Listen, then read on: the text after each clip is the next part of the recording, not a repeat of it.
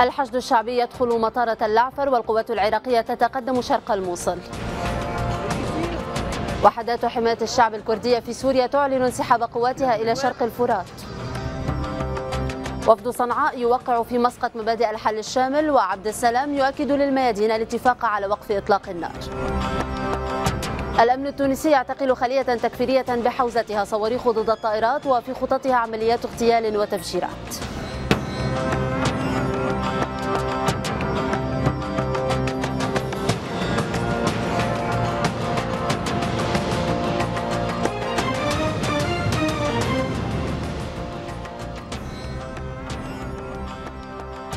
الميدانية من الميادين أهلا بكم وفي ميادينها لليوم. من الميدان العراقي علي مرتضى من قرب مطار تل عفر. إلى الميدان السوري من حلب رضا الباشا. ومن الميدان اليمني أحمد زبيبة من صنعاء. ختاما مع الميدان التونسي عماد شتارة من العاصمة التونسية.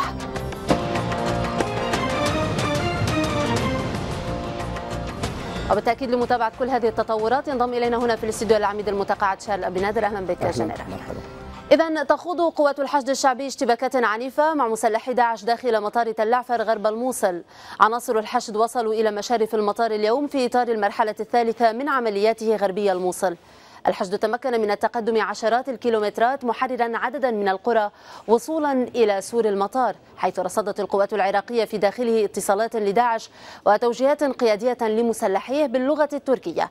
وكانت الميادين قد واكبت تقدم قوات الحشد الشعبي باتجاه أسوار مطار تل عفر حيث حاول داعش عرقلة هذا التقدم برصاص القنص والصواريخ الحرارية والمفخخات.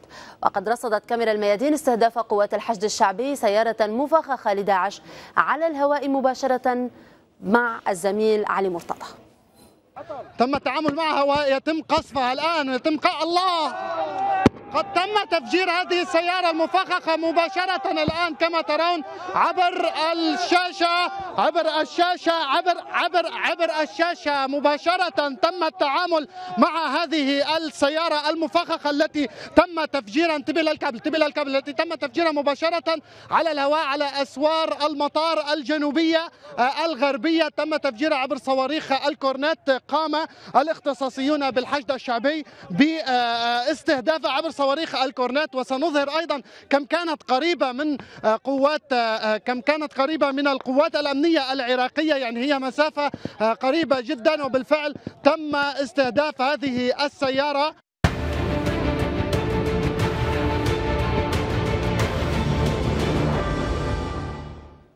إلى شرق الموصل حيث أفاد مراسل الميادين بأن القوات العراقية تمكنت من تحرير معظم مناطق حي عدن والتحرير داخل المدينة. كذلك أفاد مراسل الميادين بأن القوات العراقية المشتركة حررت قرية تل عكوب شمال الزاب جنوب غرب الموصل. تشهد مناطق محافظة نينوى عملية نزوح المواطنين على وقع اشتداد المعارك في وقت بدأت فيه القرى الأمنية أو القوى الأمنية السماح للمدنيين بالعودة إلى المناطق المحررة من مسلحي داعش. حازم كلاس. إلى أطراف إقليم كردستان العراق يصل النازحون بسياراتهم الخاصة أو بمساعدة القوات العراقية. عائلات بأكملها هربت من تحت أعلام داعش ورفعت راية للبحث عن السلام. رحلة نزوح مضنية من شرق الموصل إلى هنا. سيتذكرونها طويلا كما سيتذكرون قهرا عاشوه لأكثر من عامين ونصف العام. أبت داعش خلالهما إلا أن تترك آثاره على وجوههم. إحنا قلنا أحد ما تعارض لنا. نقعد ببيوتنا إن شاء الله يومين ثلاثة أربعة تخلص الشغلة يعني. ما صدقنا سنتين وأربعة اشهر إحنا محصورين. وبين المطرقة والسندان. تفتيش دقيق تقوم به القوات الأمنية هنا خشية تسلل عناصر من داعش بين المدنيين.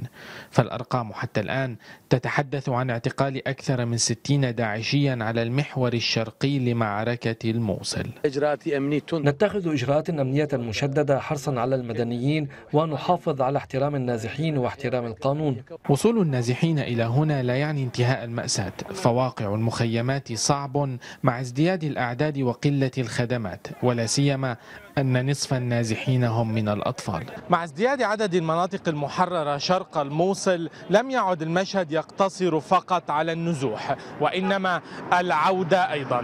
فهؤلاء يرغبون بالعودة إلى منازلهم بأسرع وقت ممكن وأعدادهم تزداد يوما بعد آخر. هنا يبدو المشهد مختلفا. فرغبة هؤلاء بالعودة إلى منازلهم تجعلهم يحثون الخطى للحصول على موافقات أمنية. والله إحنا هسه رايحين كرقش صارنا سنتين وثلاث أشهر إحنا ما ما شايفين يعني بيوتنا ولا محلاتنا. لا يتمكن الجميع من الحصول على موافقات فينتظرون. الأمر مرتبط بالمنطقة المراد التوجه إليها فبعضها لم تستكمل عمليات تطهيرها وهذا ما يشرف عليه الملازم أول علي هنا. إحنا إن شاء الله من يتحرر الساحل الأيسر بذاك الوقت شو وقت ما يجي الأمر من مراجعنا يدخلون. المدنيين بهذا الوقت نسمع لهم. هسه الأمر عندنا ممنوع أي مدني يدخل. أكو طريق به سيارات إسعافات الإسعافات مالتنا احتمال عندنا جرحى. إحنا نحاول ننقذهم بأسرع وقت المستشفى وإن شاء الله ما عندنا شيء. وريثما يفتتح ويؤمن الطريق باتجاه الموصل ستبقى القوات العراقية تؤكد حرصها على سلامة المدنيين في معركة باتت محط أنظار العالم. حازم كلاس شرق الموصل الميادين.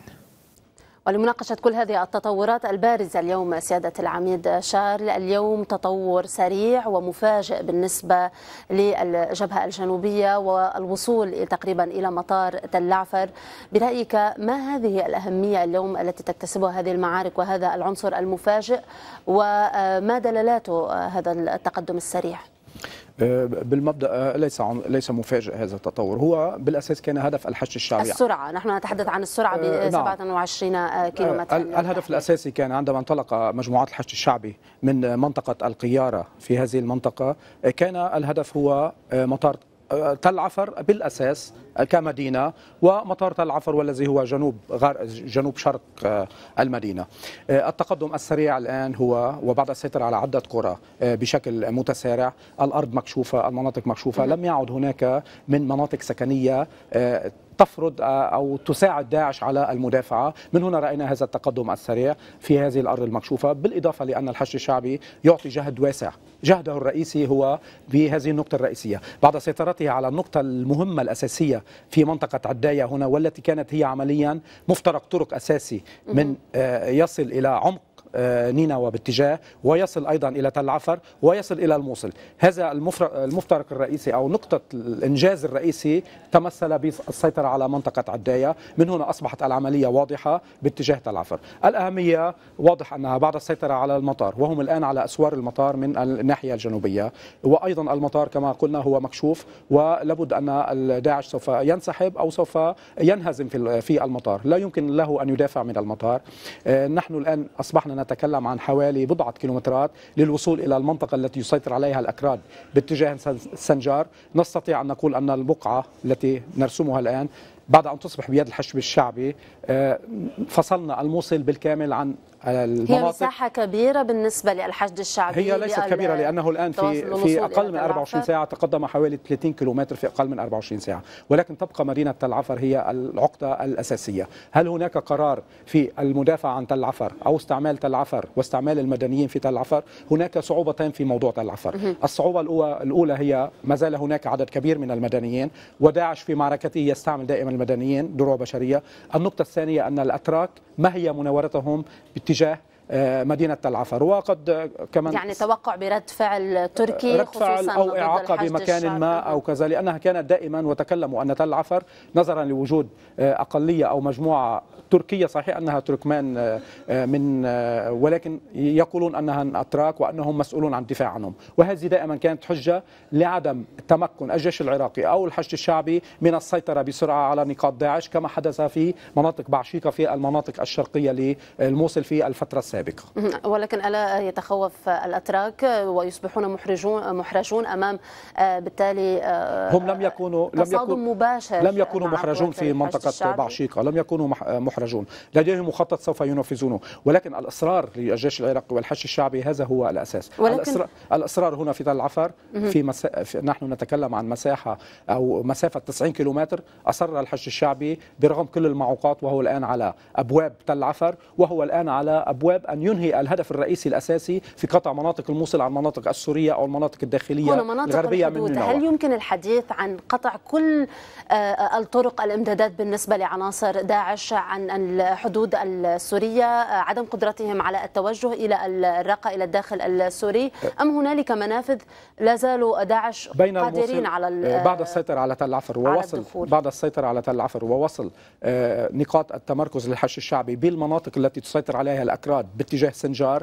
نستطيع أن نقول أن الموصل كمدينة مع غرب الموصل أصبح مفصول بالكامل عن مناطق الداخلية لنينوى في هذا الاتجاه وعن المناطق التي تذهب باتجاه الرقة أو تذهب باتجاه دير الزور. لهذا هذه نقطة أساسية. بنقطة الانطلاق لتحرير قضاء نينوى. كان هنالك الإجماع بأن السيطرة على مطار تل عفر هو نقطة انطلاق مهمة بالنسبة لقوات الحشد الشعبي آه، هو هو كما يبدو على الخريطة وفي الناحية الجغرافية هو في الأخير يعني في المرحلة الأخيرة من التقدم. هم الآن آه، لهم أكثر من أسبوع ويتقدمون و آه، آه، يعني شنوا أكثر من معركة حاسمة. وكان دافع داعش يدافع في بدء المعركة في بدء هذا المحور على نقاط رئيسية واستعمل مفخخات وأعاق التقدم. ولكن الآن المعركة أصبحت في نهايتها من الناحية الجغرافية كمساحة ولكن كما قلنا تبقى كمدينة صغرت تل عفر. بعد السيطرة عليها يصبح أن هناك قطع لمنطقة الموصل عن مناطق الرقة بالكامل. جنرال بتقييمكم لهذه المعركة تحديدا تل عفر عن أسلوب داعش. هل خسر كل ما لديه من أساليب لتحصين دفاعاته؟ ولا سيما أنه يلجأ في الفترة الأخيرة, الأخيرة إلى زرع هذه المفخخات أو حتى أحزمة نفسي وانتحاريين والهروب أو التراجع إلى المناطق التي يمكنه أن يتحصن بها. الآن في تل عفر ويمكن الذهاب إلى الموصل أو إلى هو دائما في معركة يتراجع إلى النقاط التي يمكن أن ينفذ المعركة التي هو يبرع فيها والتي هي استعمال المدنيين واستعمال المفخخات في في المناطق السكنية. هو يبتعد عن الاشتباك المباشر ويبتعد عن التصادم أو الالتحام بوجه القوات التي تتقدم عليها في المناطق المكشوفة. هو دائما يلجأ إلى المناطق السكنية لأنه يستطيع أن يختبئ يستطيع أن ينفذ صحيح. العبوات الناسفة ويستطيع أيضا أن يستعمل المدنيين. هذه معركته دائما. هو الآن تراجع وسيتراجع حتما من المطار باتجاه المدينة تل عفر كما هو يتراجع من اتجاه حمام العليل وهو يتجمع باتجاه مطار الموصل. إذا تكلمنا عن المحور الجنوبي في هذا الاتجاه هو يتجمع باتجاه مطار الموصل ومعركته أيضا ستصبح آه، صعبة في داخل الأحياء خصوصا غرب نهر دجلة. هو يتحصن غرب نهر دجلة لأنه بالأساس لم هناك يك... المعركة الكبرى يمكن الحديث عن غرب نهر نستطيع أن نقول أن معركة داعش الأساسية في الموصل هي غرب نهر دجلة. هو الآن آه، حدثت بعض المعارك في الشرق ولكنه لم يكن بالأساس يعطي جهد في تمركزه شرق نهر دجلة. نظرا لتواجد كان هناك تواجد للأتراك في بعشيقة ولعدم قرار كان واضحا وثابتا للبشمركة في الدخول إلى الموصل لأسباب سياسية وأسباب متعددة. آه، يعني آه، آه، هل نفهم بأن هنالك انسحاب من قبل عناصر داعش من كل هذه الجبهات لنتحدث عن التمركز نحو غرب نهر الدجلة هو يعني المعركة الأبرز سوف تكون هنالك أعتقد في الشمال العراقي هناك. في الشمال العراقي لم يبقى إلا معركتين رئيسيتين وأساسيتين لداعش. هي غرب الموصل في المدينة غرب نهر دجلة في المدينة وتل عفر إذا يعني أراد الأتراك يعني تأخير هذا الاندفاع للحشد الشعبي ووضع معوقات في وجه تحرير المناطق التي يسيطر عليها داعش. سوف يكون هناك معوقات في تل عفر لأسباب معينة. بشكل سريع قبل الانتقال إلى شرق الموصل سيادة العميد برأيك في هذه المعركة ما هي العوامل التي ساهمت بتقدم آه، سريع للقوات الأمنية العراقية والحشد الشعبي؟ آه، وكانت نقاط ضعف بالنسبة لداعش. آه، النقطة الرئيسية الأساسية هي الفارق في العديد. هناك الجيش العراقي والحشد الشعبي يحشد بأكثر من 50 أو 60 ألف مقاتل بين الشرق وبين الجنوب وبين الغرب. وهذا عدد كبير بالنسبة لداعش. الإحصاءات والمعلومات تكلمت عن حد أقصى لداعش 6000 مقاتل أو 7000 مقاتل عند بداية المعركة. وأيضا قد فر منهم أثناء بداية المعركة عدد كبير باتجاه الرقة وباتجاه المناطق الداخلية من اتجاه نينوى. لم يبقى هناك هذا العدد الكبير.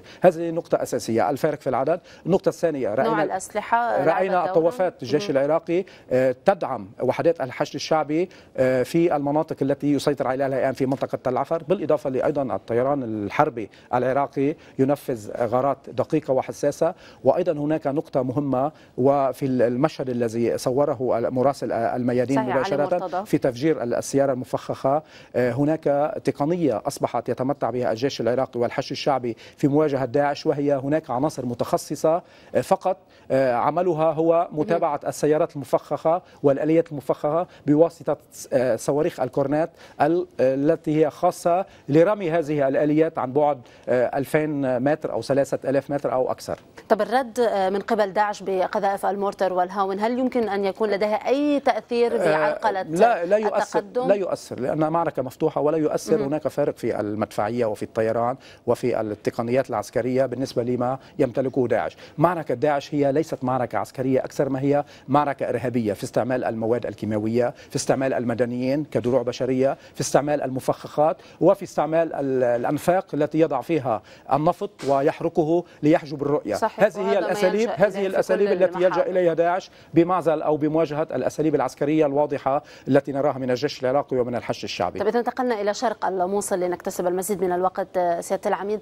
آه، هنالك تطور هنالك تقدم ولكن نلاحظ بأنه أقل سرعة من الجبهة الغربية وحتى الجنوبية بشرق الموصل وصلوا إلى حيي عدن والبكر هل هنالك من إمكانية للتقدم أكثر وما العوامل التي تعيق هذا التقدم السريع؟ العامل الأساسي والرئيسي هنا مبدئيا المناطق التي تم السيطرة عليها الآن في حي عدن وفي حي التحرير والتي هي على المشارف أماكن سيطرة داعش باتجاه المنطقة التي هي بقيت يسيطر عليها شرق نهر دجلة داخل الموصل. آه، التباطؤ الآن طبيعي لأنه الأبنية سكنية. شرق الموصل مثل غرب الموصل هو منطقة مكتظة وهي أحياء آه، فيها أبنية وفيها نقاط وبعد قليل سوف يصل الجيش العراقي أو وحدات الرد السريع إلى جسور على نهر دجلة. هناك معوقات في التقدم غير أو على عكس المناطق الصحراوية أو المناطق المفتوحة في مناطق جنوب الموصل وفي مناطق غرب الموصل. هذه نقطة أساسية في الاكتظاظ السكاني الذي يؤخر هذه الحركة من اتجاه الشرق. جهاز مكافحة الإرهاب يلعب دورا بارزا في هذه الجبهة تحديدا. ولكن ماذا عن سلاح الطيران؟ وتقول وزارة الدفاع العراقية بأن التحالف الدولي قد شن 100 غارة على مواقع تحصن داعش. هل لديها أي تأثير في شرق الموصل؟ الآن بعد التقدم التقدم إلى المدينة وأصبحت الاشتباكات على تخوم المدينة وداخل الأحياء. أعتقد أن الطيران لم يعد لديه هذه الفعالية كما في السابق. تحولت إلى حرب شوارع يعني. لأن هناك نقطة لافتة وخصوصا في الشرق آه، آه، وحدات مكافحة الإرهاب تقاتل داعش بوجود المدنيين. المدنيين أغلب المدنيين من الأحياء التي تكلمنا عنها حي الانتصار وحي التحرير وحي عدن رغبوا أو أرادوا أن يبقوا في منازلهم لم يتركوا منازلهم. من هنا هذه الحساسية هذه المعركة. لا إمكانية لاستعمال الطيران نظرا لوجود مدنيين والبطء في التقدم ولكن يكون تقدم ثابت تقدم يحمي المدنيين. من هنا هذه المعركة تأخذ هذا التباطؤ. طب ما هو السلاح الأفضل في هكذا معركة؟ لا هنالك إمكانية باستخدام الطيران. آه نحن نتحدث وكأنها آه كما ذكرت حرب شوارع شخص لشخص صح. أو المعركة في شرق تقريبا. المعركة في شرق الموصل ناجحة وهي تتقدم. لا يمكن التقدم بسرعة أكثر في هذه الشروط التي تكلمنا عنها. شرط وجود المدنيين وشرط وجود الأماكن السكنية هي تأخذ وقتها الطبيعي والمنطقي في معدلها بالنسبة للعمليات العسكرية بشكل عام حياي عدن آه، نتحدث عفوا عن آه، عدن والتحرير آه، عدن تم والتحرير. تحريرهما وكذلك من قبل الانتصار والكرامة, والكرامة. اليوم الحديث عن البكر هذه الأحياء هل بمساحتها نستطيع أن نقول مساحة جغرافية كبيرة أم هي تحتاج كما ذكرت إلى وقت مزيد من الوقت بمساحة ضيقة وليس مساحة جغرافية كبيرة هي الأحياء. لا يوجد مساحة كبيرة ولكن يوجد اكتظاظ في الأبنية ويوجد كما قلنا مدنيين. هذه الحساسية التي تفترضها الدخول في هذه الأحياء. إذا سننتقل إلى سوريا. سيادة العميد حيث أعلنت القيادة العامة لوحدة حماية الشعب الكردية في سوريا انسحاب قواتها إلى شرق نهر الفرات للمشاركة في حملة لطرد تنظيم داعش من الرقة وقالت أن مقاتليها استكملوا مهامهم في تدريب ما يعرف بقوات مجلس منبج العسكري. وأضافت أن هذه القوات باتت قادرة على الدفاع عن مدينة منبج في ريف حلب الشمالي الشرقي.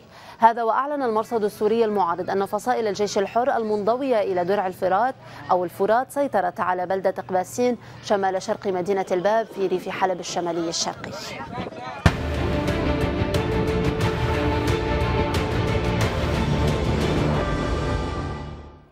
أعلنت وزارة الدفاع الروسية أن 27 شخصا قتلوا وجرح المئات أمس في حيي العامرية والفردوس شرق حلب.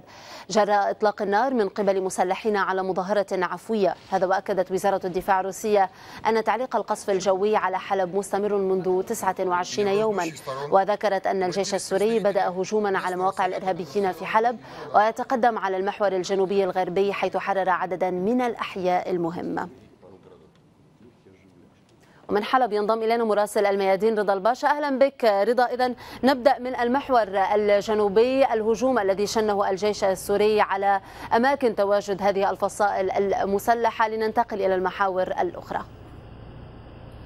نعم وفعلا دعينا نبدأ اولا من محيط مدينة ألباب، الخبر الذي أورده المرصد السوري المعارض هو فعلا كان هناك تقدم لقوات درع الفرات في محيط مدينة ألباب وسيطروا على قرية قبسين ولكن ظهر هذا اليوم تمكن تنظيم داعش بعد بعد مهاجمته لنقاط مسلحي درع الفرات من استرجاع هذه القريه التي تمت السيطرة عليها يوم البارحة، فيما يتعلق طبعا بالجبهة الجنوبية الغربية لمدينة حلب كان هناك اشتباكات دارت اشتباكات بين الجيش السوري والفصائل المنضوية تحت راية جيش الفتح في الجبهة الجنوبية الغربية وتحديدا في أرض الجبس. لربما هذه الاشتباكات هي مقدمة لاقتحام حي الراشدين أربعة الذي يقع في الجهة الجنوبية الغربية للمدينة والذي يقع أيضا على مرتفع. يحكم السيطرة على كل ما هو حوله. يمكن الجيش السوري طبعا من أحكام السيطرة على نقاط الفصائل المسلحة المتواجدة في خان العسل والمتواجدة في المنصورة وصولا إلى كفر داعل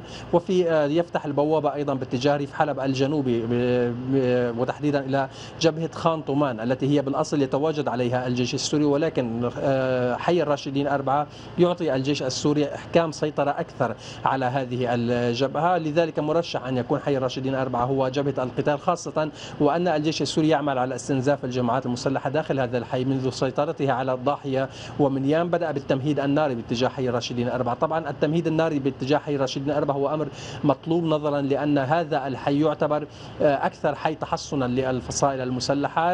يقع تحت سيطرة هذه الفصائل منذ أربع سنوات. لم يطرق باب هذا الحي في المعارك حتى هذا اليوم. تقريبا كان هذا اليوم هو البداية من الجيش السوري من أجل الاقتراب أكثر باتجاه حي الراشدين. أربعة من اتجاه مدرسة الحكمة بدأت العملية بدأ بدأت الاشتباكات ومن ثم تمددت إلى ما يعرف بأرض الجبس أو سوق الجبس وهي النقاط القريبة إلى حي الراشدين أربعة طبعا وسط استهداف مدفعي وصاروخي واستهداف الطيران الحربي لهذا الحي. طبعا الطيران الحربي كان على مدار الساعة يستهدف أيضا خطوط إمداد الجماعات المسلحة والنقاط البعيدة إضافة لاستهداف الطيران الروسي لمدن وقرى ريف إدلب. التي تعتبر الخزان البشري الرئيسي لجيش الفتح في مهاجمة نقاط الجيش السوري في حلب. الاستهداف الذي كان يوم البارحة في خان شيخون وأريحة توسع هذا اليوم ليصل إلى مدينة سراقب وسرمين وصولا إلى بنش ومعرة النعمان. أيضا كانت هدفا للطائرات الروسية. كما كذلك الأمر أيضا تم قصف كفرناها ودارت عزة في ريف حلب الغربي. طبعا هذا الاستهداف يعتبر الاستهداف الأوسع لربما خاصة وأنه يوم البارحة وهذا اليوم كان بمشاركة الصواريخ الروسية التي أطلقت من البوارج الحربية المتواجدة في البحر المتوسط. لابد أن أشير أيضا إلى الأحياء الشرقية. يوم البارحة كان هناك اختبار للأحياء الشرقية. عمل الجيش السوري على فتح الجبهة الشمالية الشرقية لهذه الأحياء وتحديدا من البريج والأرض الحمراء في مواجهة مساكن هنانو. هذا اليوم أيضا كان هناك اشتباكات متقطعة بين الجيش السوري والفصائل المسلحة المتواجدة داخل هذه الأحياء على الجبهة الجنوبية للأحياء الشرقية لمدينة حلب. طبعا من الجهة الجنوبية الشرقية وتحديدا من جهة المرجى بالإضافة إلى أن سلاح الطيران غاب بشكل كامل عن الأحياء الشرقية وكان الاستهداف بغالبيته هو استهداف مدفعي وصاروخي لمعاقل تواجد الجماعات المسلحة داخل هذه الأحياء. نعم ولكن لنستفسر منك نقطة معينة. ذكرت في بداية الرسالة رضا حول ريف حلب الشمالي الشرقي وبعد إعلان وحدات حماية الشعب الكردية عذرا يمكن فقدنا الاتصال مع الزميل رضا الباش. على كل الأحوال شكرا جزيلا لك رضا على كل هذه المعلومات. طلب الرئيس الروسي فلاديمير بوتين من وزارة الدفاع تأمين الحماية للقوات الروسية والسورية التي تقاتل داعش في سوريا بناء عليه. قدم وزير الدفاع سيرجي شويغو عرضا لبوتين بالصواريخ التي تقوم بهذه المهمة. التفاصيل مع بيسان طرف أهلا بكم قصفت صواريخ باستيون البحرية أهدافا برية في سوريا. صواريخ لم تستخدم من قبل في أي عملية قتالية. إلى جانب صواريخ كاليبر استخدمت القوات الروسية صواريخ باستيون التي استهدفت مواقع الجماعات المسلحة ومنشآتها في محافظتي إدلب وحمص إضافة إلى استهدافها مصانع تابعة للمسلحين لإنتاج الغاز السام وغيره من وسائل الدمار الشامل. إلى جانب صواريخ باستيون أطلقت المنظومة نفسها صواريخ أونكس المجنحة والمتحركة على الأرض الصواريخ في الأساس مخصصة لمكافحة سفن الأسطح المعادية والغاية من إطلاقها على أهداف برية بحسب خبير عسكري روسي. هو أو هي دراسة إمكانيات المنظومة بكاملها في ظروف القتال الحقيقية وبعد إجراء تعديلات على رأس الصاروخ أونكس الموجه. إذا ما طلبه الرئيس الروسي فلاديمير بوتين من وزير دفاعه بشأن ضرورة حماية المنشآت والقواعد العسكرية الروسية وحماية الساحل السوري بات واضحا والمهمة ألقيت على عاتق السفن الحربية الروسية الموجودة في البحر المتوسط وعلى منظومات الصواريخ المتطورة التي وصلت إلى الأراضي. السورية. فالسفن الحربية الروسية التي تحمل منظومة باستيون تقع على عاتقها مسؤولية حماية الساحل السوري إضافة إلى قاعدتي طرطوس وحميميم برا وبحرا. في حين تتكفل منظومة أس 400 وأس 300 بردع أي هجوم جوي.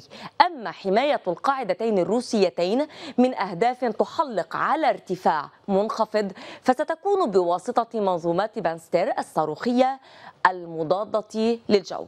كما أن باستطاعة هذه المنظومات ضرب الأهداف المهاجمة من على بعد 350 كيلومترا في البحر ونحو 450 كيلومترا في البر. حيث استخدمت القوات الروسية صواريخ كاليبر وأونكس لتدمير مخازن الذخيرة ومقر المجموعات المسلحة في سوريا. هي تطورات بارزة دائما في سوريا سيادة العميد ولكن ولا سيما بريف حلب الشمال الشرقي. ولكن قبل البدء بالجبهة الجنوبية هنالك هجوم للجيش السوري على الجماعات المسلحة. هذا هو ذكر ذلك زميلي رضا. نسمع كثيرا بالراشدين أربعة. ما أهمية أن يتم السيطرة من قبل الجيش السوري وحلفائه على هذه النقطة؟ ما الذي تعطيه؟ هل تمكنه من التقدم نحو مناطق استراتيجية أكثر في الجبهة الجنوبية؟ هنا مبدئيا الراشدين أربعة. وهي مباشرة غرب مدرسة الحكبة هنا مدرسة الحكبة أهمية الراشدين أربعة. أولا أنها منذ حوالي الأكثر من أربع سنوات هي تحت سيطرة المسلحين. لم يحدث أن تقدم إليها الجيش السوري حتى الآن أي أي مرة خلال كامل هذه المعركة. النقطة الثانية أنها على مرتفع. هي تكشف طريق خان طومان ما تبقى من خان طومان تكشف باتجاه خان العسل وهي بعد السيطرة عليها يصبح هنا الراشدين خمسة والتي هي مبدئيا أيضا غرب ضاحية الأسد. بعد السيطرة على الراشدين أربعة أيضا تصبح راشدين خمسة تحت مرمى السلاح أو تحت كشف ومراقبة الجيش السوري للأسلحة المباشرة بطريقة واضحة. هذا المثلث بين الراشدين خمسة وبين خان العسل وبين خان طومان من الراشدين أربعة نستطيع أن نقول أنه يصبح مهدد بطريقة كاملة.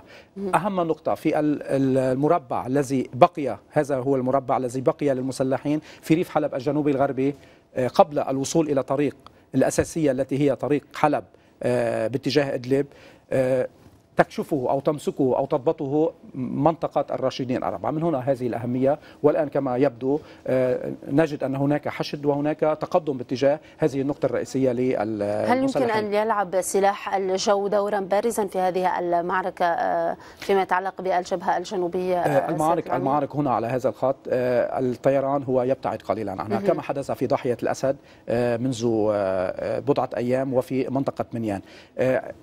القتال هو متقارب المغارب وتم السيطرة واستعادة السيطرة على ضاحية الأسد بدون استعمال الطيران. وأعتقد هنا أنه لا إمكانية أو لا مجال لاستعمال الطيران على هذه المنطقة المتقاربة العوامل التي ساهمت باستعادة ضاحية الأسد ممكن أيضا أن تساهم اليوم بالتقدم نحو راشدين آه، أربعة وكما ذكرت صحيح. هي كانت طيلة فترة أربع سنوات بيد الجماعات المسلحة نفس العوامل التي ساهمت هي أن المسلحين الآن بوضع منهار. آه، بقعتهم أو نقاطهم الخلفية التي يتم فيها رفدهم أو آه، مساندتهم بالمسلحين الفلسطينيين في مناطق إدلب بالكامل في هذه المنطقة هي تتعرض لقصف آه، عنيف وقصف غير مسبوق روسي من خلال منذ خلال 48 ساعة لم يتوقف هذا القصف. آه، كل العوامل وكل النقاط المهمة آه، تعطي إمكانية للجيش السوري الآن ولحلفائه في التقدم إلى الراشدين أربعة. لابد من الانتقال إلى مدينة الباب وما يحكى عن هذه المحكر عن هذه المعركة. عفوا والرئيس التركي حتى أردوغان يقول بأن الفصائل المعارضة التي تنضوي ضمن درع الفرات وال حليفة له هي آه، على بعد فقط آه، يعني مسافة قريبة جدا من مدينة الباب آه، الفريق الذي يسيطر على مدينة الباب ماذا يعني عسكريا سيادة العميد؟ آه، الآن يوجد داعش في الباب مبدئيا. هنا الباب يوجد داعش في الباب. ولكن رأينا منذ آه، حوالي 48 ساعة بعد أن تقدم الوحدات المدعومة تركيا الجيش الحر والمجموعات الأخرى المدعومة تركيا تقدمت بطريقة آه، أيضا غريبة. لم يكن هناك أي قتال. الآن اليوم بعد الظهر داعش استعاد السيطرة على قرية واحدة من أصل أكثر من عشرات القرى التي تم السيطرة عليها بطريقة ماذا غريبة. يعني دون قتال؟ انسحاب؟ انسحاب. كما حدث في منطقة دابق الذي كان داعش يعتبرها هنا هنا دابق واضحة على الخريطة. نعم. أو في جرابلس. كانت تعتبر نقاط ارتكاز رئيسية لداعش في ريف حلب الشمالي. هي الأساس. جرابلس ودابق كانت الأساس وانسحب منها دون أي قتال. والآن هذا التقدم المفاجئ والسريع على الباب. يبدو أن داعش في نفس المخطط وبإعاز تركي معين سوف يسهل لهذه الوحدات بالسيطرة على مدينة الباب. يبقى أن هناك خط أحمر. هل الروس في هذه الموضوع. هم آه، موافقون على هذه النقطة الأساسية لأنه كنا سمعنا سابقا أن الروس لم يعطوا حتى الآن موافقة للوحدات التركية في السيطرة على الباب. وأيضا الجيش السوري نعم. الجيش السوري في مناطق كويرس هو جاهز وهو على أهبة الاستعداد للإندفاع باتجاه الباب. صحيح أن مسافته أطول أصبحت أبعد بحوالي 6 أو 7 كيلومتر ولكن لديه إمكانية للتقدم أكثر لأنها أرض مكشوفة ولأنه يملك عديد وحشود كبيرة في كويرس وهو كان يجهزها سابقا للتقدم إلى الباب. طب داعش ما هو الباب أو المنفذ الذي يصبح لديه إذا تم السيطرة على هذه المدينة؟ إلى أين يتجه داعش إذا تم محاصرته؟ داعش ينحسر باتجاه الجنوب وباتجاه الجنوب الشرقي. لديه ما زال لديه مواقع ومحور واسع آه، باتجاه مناطق آه، مسكنة في هذا الاتجاه باتجاه مطار الطبقة وباتجاه الرقة. هذا المحور ما زال مفتوحا باتجاه داعش. هناك ترابط كل هذه الطريق مفتوحة أمام داعش للوصول إلى الرقة. كل كل هذه المنطقة المظللة باللون الأسود هي أماكن سيطره لداعش. بين حلب بين أرياف حلب الشرقية وبين الرقة. ما زال داعش يسيطر عليها. وهو أيضا يضغط باتجاه طريق أسرية خناصر دائما باتجاه ريف حلب الشرقي في هذا الاتجاه. هذا التواجد لداعش ما زال مفتوحا باتجاه الرقة وهو تواجد قوي ولديه نقاط قوية في مطار الطبقة وفي منطقة مسكنة. ولكن كيف يقرأ عسكريا إعلان اليوم القيادة العامة لوحدات حماية الشعب الكردية بالانسحاب إلى شرق نهر الفرات كما تقول المشاركة بحملة لطرد تنظيم داعش من الرقة. هي مبدئيا تنفذ الشرط الذي فرض عليها سابقا قبل التقدم إلى منبج لأنه كان الشرط الأمريكي أه، أنه بعد السيطرة يعني على منبج. ضغط أمريكي طلب منها صحيح بعد سيطرتها على كان الشرط أنه بعد سيطرتها على منبج أو على داعش في منبج تنسحب إلى شرق الفرات والأتراك ضغطوا في هذا الموضوع. هم الآن انسحبوا ولكن لا يعني هذا أن داعش أو أن وحدات حماية وحدات المدعومة تركيا سوف تدخل إلى منبج بهذه السهولة. هناك مجلس عسكري في منبج وهو أعلن أنه سوف يقاتل ولديه قوى ووحدات مؤلفة من أكثر فصيل آه، كردي وعربي وهي تقاتل داعش كانت في هذه المنطقة. إذا يمكن الحديث أن هنالك حماية وحدة حماية الشعب الكردية قادرة على أن تأخذ زمام هذه المبادرة ولا سيما أن هنالك دعم تركي كما ذكرت واضح للجيش الحر والمجموعات التي منضوية تحت درع الفرات. مبادرة باتجاه الرقة, الرقة. صحيح هي تتقدم وليس فقط وحدات حماية الشعب الكردي هناك قوات سوريا الديمقراطية وهناك مجموعات أخرى أيضا تشترك وتضغط على منطقة الرقة من اتجاه عن عيسى وهي تتقدم. يوميا تتقدم ويوميا تسيطر نحن باللون على الأصفر نشاهد هنالك الأكراد, الأكراد. سيطرة الأكراد نعم. وأيضا هذا التواجد لداعش في منطقة الرقة وشمال الرقة. والنقطة الرئيسية التي هي قاعدة انطلاق للوحدات الكردية عين عيسى المحور الأساسي الذي يضغط باتجاه الرقة هو في هذا الاتجاه. هناك ضغوط وهناك تقدم للوحدات الكردية ولقوات سوريا الديمقراطية من الشمال باتجاه الرقة ولكن ما زال الموضوع بعيدا. وأيضا كما كافة معارك يعني داعش في نستطيع نقول أن أحاديث تهويلية أكثر من ما هي على أرض الواقع فتح معركة الرقة. ولا سيما نتحدث بأن عناصر داعش لا زال هنالك طريق مفتوح أمامه من من من الباب باتجاه الرقة. هو طريق سالك بالنسبة صح لها. وباتجاه دير الزور أيضا. آه الذي يتغير من اتجاه الشمال الرقة هو أن الخط الفاصل بين الأكراد والرقة هو ينحسر باتجاه الجنوب قليلا. ولكن عمليا لا يغير شيء في موضوع حصار آه حصار داعش في الرقة. داعش أساسا هي محاصرة بواسطة هذا الخط الفاصل من اتجاه المناطق التي تسيطر عليها الأكراد. إذا تقدم هذا الخط بضعة كيلومترات لن يغير شيء عمليا على مدينة الرقة. الذي يغير عمليا في حصار الرقة هو نقطتين أساسيتين. فصل الرقة عن دير الزور في هذه المنطقة وفصل مناطق ريف حلب الشرقية في منطقة الطباقة عن الرقة. هذان النقطتين الرئيسيتين من اتجاه الجنوب ومن اتجاه الغرب, الغرب. التي يمكن أن نقول أن داعش تم محاصرته وتم عزله في الرقة وإلا من اتجاه الشمال لن يتغير شيء عمليا. هل الأكراد يعني أكيد هم متضررون من سيطرة الأتراك إذا تمت السيطرة من على الباب. هل يمكن أن يكون لديهم أي دور أيضا؟ نلاحظ أطراف عدة أيضا الجيش السوري كما ذكرت بمطار كويرس ودعم حتى روسي في القاعدة القواعد العسكرية هناك. الأتراك دائما كان قرارهم هو تحت المظلة الأمريكية. كنا نرى ذلك. هم دخلوا إلى منبج بدعم أمريكي واضح. يعني بانتظار الضوء الأخضر من أمريكا. صحيح.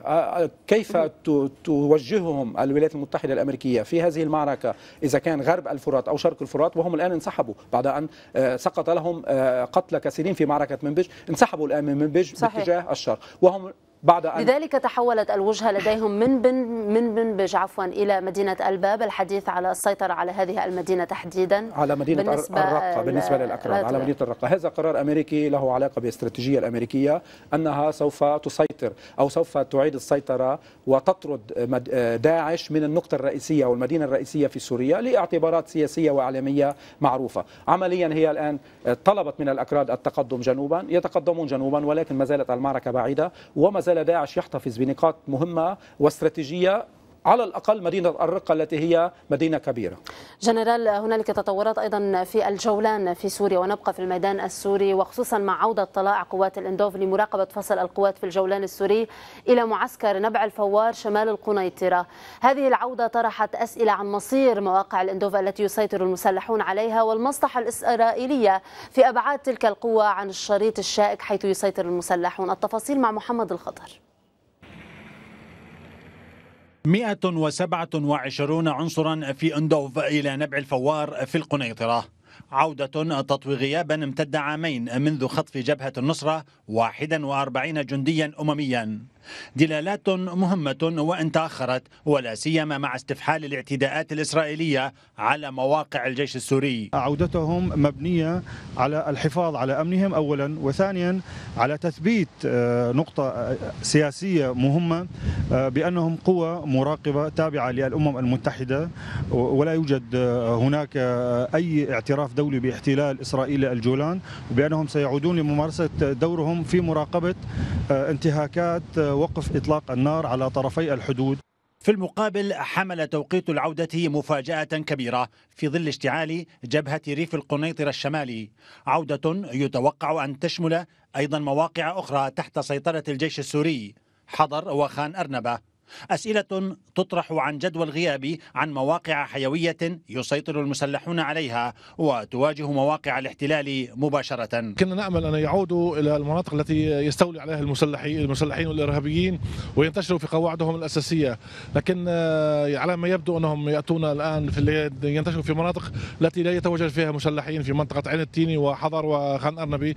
وهذا له آه، دلالات آه، غير غير مريحة ألا وهي حماية سلطات الاحتلال الإسرائيلي المتواجدة أو قوات الاحتلال الإسرائيلي المتواجدة في جولان السوري المحتل وهذا يعتبر شيء خطير. يسيطر المسلحون على الجزء الأكبر من الشريط الفاصل بين الجولانين المحرر والمحتل. سيطرة تحاول سلطات الاحتلال تكريسها وتحويلها إلى منطقة عزل عن الجيش السوري.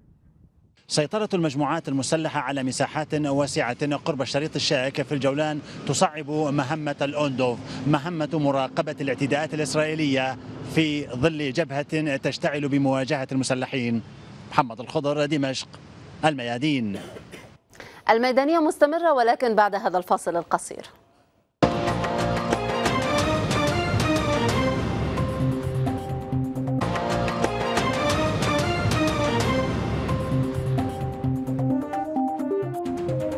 من جديد أهلا بكم إلى الميدانية من الميادين. في اليمن أعلن اللواء الركن سعيد الحريري قائد المنطقة العسكرية الخامسة مباركته توقيع اتفاق المبادئ لوقف إطلاق النار الكامل والشامل ولكنه تحدث عن جهوزية كاملة للدفاع عن الأرض والسيادة.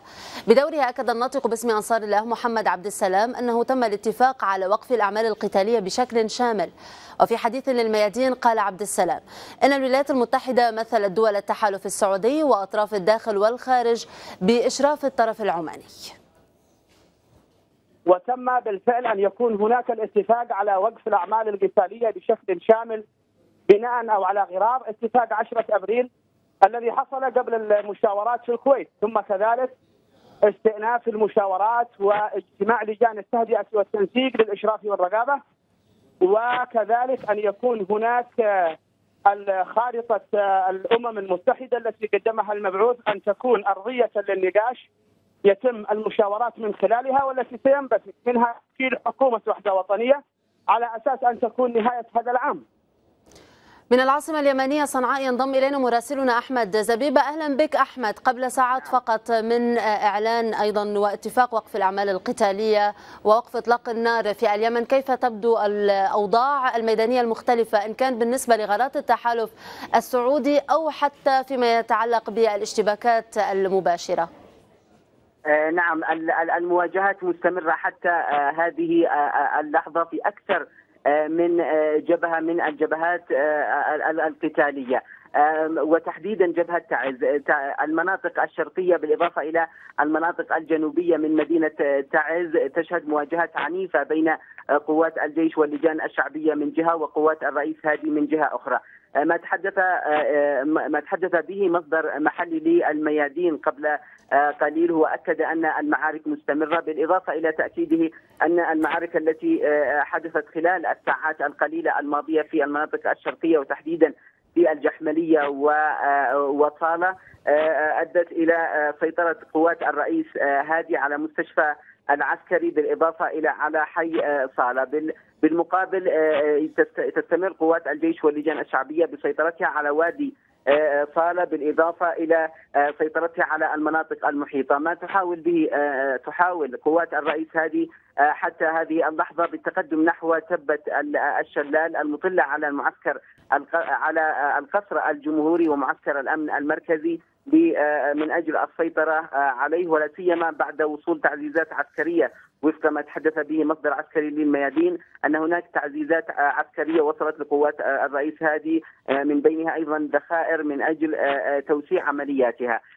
أيضا إلى الجنوب من مدينة تعز وتحديدا مديرية الوازعية هي أيضا شهدت مواجهات عنيفة بين الجيش واللجان الشعبية من نعم جهه وقوات. الرئيس هذه من جهة أخرى مصدر عسكري للميادين. أكد أن سقوط قتلى وجرحى من قوات الرئيس هادي في جبل قرن غراب بالمديرية ذاتها. أشكرك مع جزيل الشكر، نعم. المواجهات حتى محافظة مارب إلى الشمال الشرقي من اليمن وكانت هناك مواجهات مع سلسلة من الغارات الجوية لطائرات التحالف السعودي والتي استهدفت اتضحت الصورة أحمد زبيبه مراسل الميادين. أشكرك جزيل الشكر على كل هذه المعلومات الميدانية التي وفيتنا بها من العاصمة اليمنية صنعاء.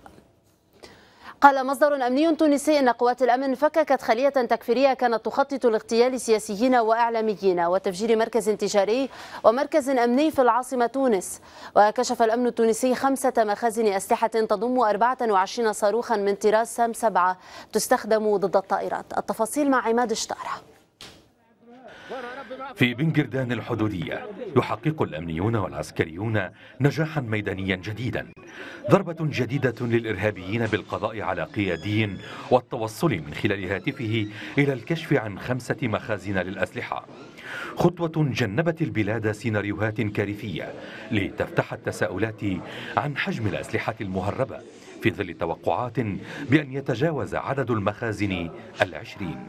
كم هو عدد هذه الأسلحة؟ ما هي نوعية هذه الأسلحة؟ علما أن هذه المخازن والمخزن الذي تم كشفه البارحة يعني خطير جدا. يعني في صواريخ من نوع سام سبعة. سام سبعة يعني 24 صاروخ كذلك ثلاثة ثلاثة قاذفات لهذه الصواريخ. إلى عام 2011 يرجع الخبراء بداية تسرب الأسلحة إلى تونس في ظل حالة الانفلات التي شهدتها الجارة ليبيا التي تشير الأرقام إلى وجود أكثر من 25 مليون قطعة سلاح فيها بينما كانت تونس حينها القاعدة الخلفية للمسلحين الليبيين. مؤكدين أن المخطط كان يهدف إلى ضرب أجهزة الدولة وزعزعة الاستقرار وإقامة إمارة داعشية على مساحة واسعة. ما زال وقت طويل سيمضي لكي نتعرف على كل يعني هذه المجموعات وأماكنها، لكن مع استخدام معدات حديثه ومع التطورات الميدانية التي شهدتها المعركة ضد الإرهاب أعتقد إنه سنة 2017 ستكون حاسمة باستخدام التقنيات الحديثة وخاصة باستخدام المروحيات التي يبدو أنها ستأتي على الأقل جزء منها في بداية 2017. الإرهاب في انحسار والأجهزة الأمنية استعادت يقظتها وسيطرتها على الميدان. هكذا يؤكد المراقبون مشددين على أن وصول طائرات البلاك هوك قريبا المزودة بأجهزة استكشاف حرارية وتركيب أجهزة تصوير عند المعابر الحدودية يعززان تفوق قوى الأمن في حربها على الإرهاب. سنة 2017 ستكون حاسمة في الحرب على الإرهاب. هكذا يؤكد الأمنيون. فيما يحذر المراقبون من خطورة السلاح الذي لم يكشف بعد ومن التهديد الذي يمثله متبنو الفكر التكفيري على أمن البلاد في ظل غياب استراتيجيات للتأهيل وتأمين فرص العمل ونشر الأمل. عماد تونس الميادين. ويبقى معنا زميل عماد اشتارة من العاصمة التونسية. عماد إذا تفكيك هذه الخلايا الإرهابية هل هنالك من تفاصيل أكثر عن الأماكن التي أرادت استهدافها؟ أيضا ماذا عن المناطق الحدودية التي كانت دائما تشهد عمليات لهذه المجموعات ولا سيما في بن قردان نعم وفاء بالنسبة للخبر الذي نشر اليوم عن تفكيك خلية إرهابية كانت تخطط لاستهداف مركب تجاري قريب من العاصمة واستهداف شخصيات سياسية وإعلامية ويعني أمنية. هذا الخبر ننقله بكل تحفظ وبكل احتراز نظرا لأن وزارة الداخلية إلى حد اللحظة لم تؤكد هذا الخبر. وأيضا حتى نعم. المعطيات الواردة في الخبر فيها بعض اللغط. يتحدثون عن استهداف مركب تجاري واستهداف شخصيات بارزة في المجتمع. في حال وأن الخلية لديها مسدس واحد وهي ما زالت تجمع المعطيات عن تكوين أو تركيب متفجرات من مواد أولية أي أنها خلية ما زالت حديثة العهد. فيما يتعلق بالأسلحة دخولها إلى تراب البلاد يرجعه المختصون إلى الفترة ما بين سنة 2011 و 2013 كان هناك انفلات أمني في تونس وأيضا في ليبيا. كان هناك استشراء لاستعمال السلاح في ليبيا وتوافد العديد من الليبيين إلى تونس نظرا للبحث عن مكان آمن ولاجئ تم إخفاء هذه الأسلحة في منطقة قريبة من الحدود التونسية الليبية قريبة في ضواحي مدينة بنجردان. كمرحلة أولى للعمل لاحقا على نقل هذه الأسلحة إلى داخل المدن. ثمة من الأسلحة كميات تم نقلها إلى جبل الشعامبي أو جبل المغيلة أو إلى مخازن أخرى تم العثور عليها في المدن الداخلية وحتى قريبا من العاصمة هنا في دوار هيشر. وهناك من الأسلحة ما تم استخدامه في معركة بن قردان الشهيرة التي أرادوا خلالها إقامة إمارة داعشية في مارس أذار الفارط. وبقيت هذه المخازن كذخيرة. إسقاط أمير كتيبة جند الخلافة والوصول إلى هذه المعلومات في هاتفه الخلوي مكن قوات الحاملة للسلاح من أمن وجيش وحرس من العثور على هذه نعم المخابئ للأسلحة. وقيل بأن هذه العملية في البداية هي عملية تفتيش وتمشيط للمنطقة. الأسلحة التي تم العثور عليها خطيرة جدا. فيها صواريخ فيها أسلحة رشاشة فيها أحزمة ناس آسفة فيها آه، يعني آه، كل ما يمكن أن يهدد الأمن والاستقرار في البلاد. المخطط الذي كان وراء تخزين هذه الأسلحة أسلحة متطورة آه، هو عماد. على كل الأحوال نعم. أشكرك جزيل الشكر على كل هذه المعلومات التي وفيتنا بها من العاصمة التونسية. الزميل عماد اشترى كان معنا من هناك بشكل سريع وبدقيقة واحدة. سيادة العميد هذه المخططات ليست المرة الأولى لاكتشاف القوات الأمنية التونسية وخصوصا على الحدود ولكن الأخطر اليوم عن هذا الخبر أنه داخل العاصمة التونسية. آه، صحيح أنه داخل العاصمة التونسية ولكن المنطلق الأساسي هو كان من نقطة من نقطة رئيسية هي دائما منطقة بن قردان آه، بن قردان آه، دائما كانت مكان للتسلل من المناطق الليبية.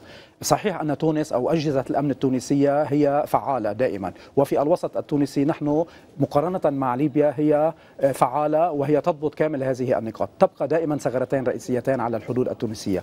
ثغرة بنقردان ومعبر آه، آه، بن جدير في هذه المنطقة ومنطقة جندوبة من اتجاه المناطق الجزائرية. هذا هاتان النقطتان كانت دائما ثغرة تدخل منها أسلحة. ولكن اللافت بشكل سريع اللافت في هذه الأسلحة أسلحة مبدئيا عادية. اللافت هو نقطة رئيسية صواريخ مضادة للطائرات سام 7 السام 7 هي صواريخ بدائية تطلق على مسافة 2 أو 3 كيلومتر فقط مبدئيا.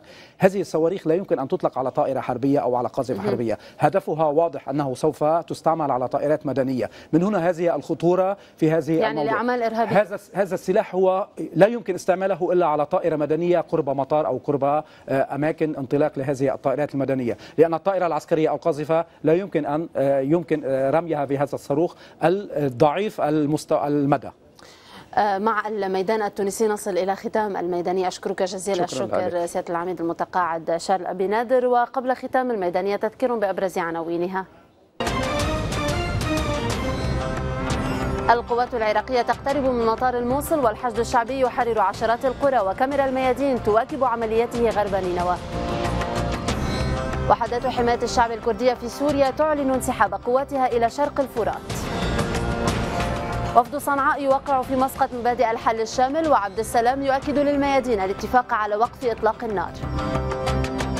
الأمن التونسي يعتقل خلية تكفيرية بحوزتها صواريخ ضد الطائرات وفي خططها عمليات اغتيال وتفجيرات. وبالتأكيد المزيد من الأخبار والتقارير إضافة إلى البث المباشر يمكنكم زيارة موقع الميادين على الإنترنت الميادين دوت نت باللغتين العربية والإسبانية وكذلك صفحات الميادين على مواقع التواصل الاجتماعي. في الختام شكرا لكم على طيب المتابعة في أمان الله.